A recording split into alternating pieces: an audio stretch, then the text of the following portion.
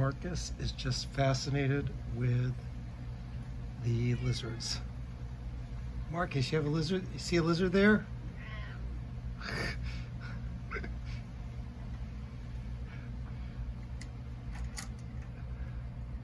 Wait till he sees one of the ring snakes coming by.